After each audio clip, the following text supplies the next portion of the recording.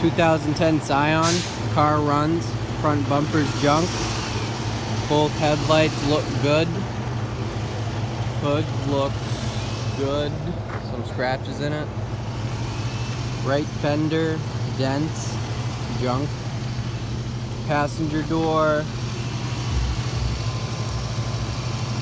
Little chip there. Bumper. It's off right there. Tail lights look good. Some little scratches on them. Little bubble there.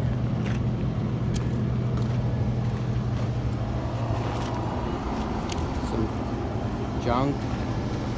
Mirror is junk. Left fender looks good except for pushed in a little there.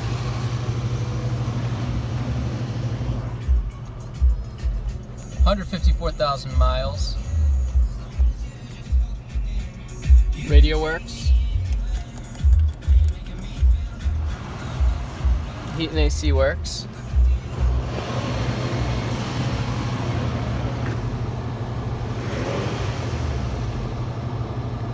Car goes forward.